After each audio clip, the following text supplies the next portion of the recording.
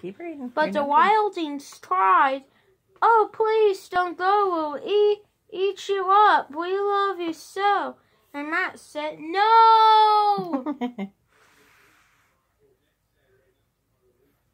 then what happened? the wild things swore their terrible roars and, and gnashed their terrible teeth and, and rolled their, their terrible eyes and, and showed their terrible claws. But Max stepped in, into his private boat and waved goodbye.